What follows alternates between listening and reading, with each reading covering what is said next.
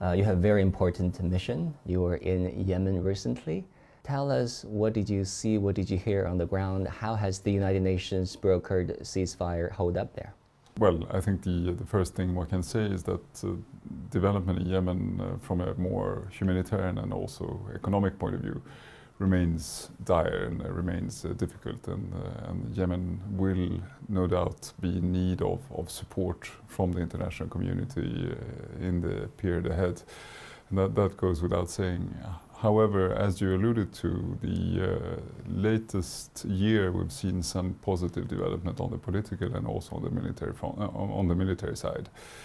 We have seen a truce that was brokered a bit uh, more than a year ago through the work of myself and my office, and that has largely been holding up until today. And we now have an opportunity where we also can, if we play our cards right and, and all participate in a constructive manner, we can also take the next step, which would be seek an agreement uh, from the parties for a, a more concerted uh, uh, truce and, and uh, steps towards political process and, and a nationwide ceasefire. And this is an opportunity that I think uh, we, the Yemenis and the international community should, should take moving forward.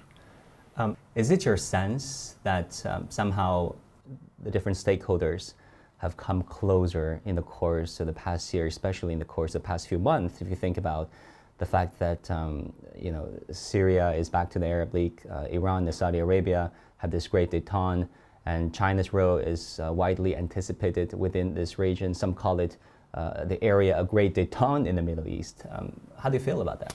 I, I, always believe in humbleness. I believe that one should uh, be, uh, be welcoming positive development uh, and one should consolidate that, and, but one should also be careful in not uh, making rush too far ahead in, in your analysis and your hopes uh, for the future, making sure that you you you take uh, all the steps that you take are, are on solid ground.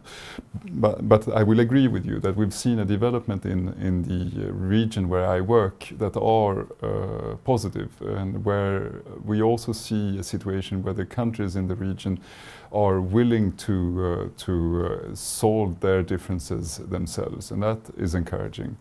Uh, there I do believe, again, coming back to the role of the United Nations and, and the broader international community, that we have a responsibility in assisting them in, in solving uh, the, the, differences that they have. And, and this is where I, I see uh, uh, China's role as, as, a, as a positive one and, and uh, will uh, want to, to make sure that, that the, the positive steps that we have seen so far can, can also be sustained.